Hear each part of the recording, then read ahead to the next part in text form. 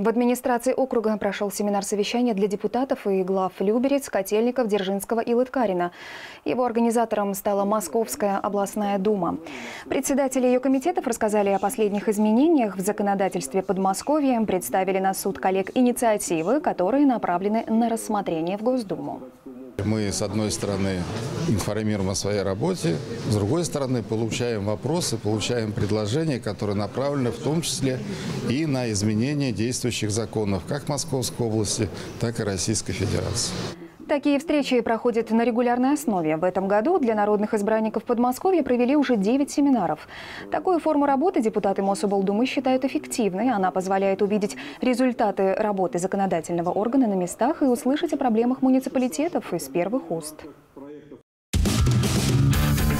Привет! Я Анна Троян. Вы смотрите ЛРТ. Подписывайтесь на наш канал на Ютубе и ставьте лайки. Будьте в курсе самых важных событий.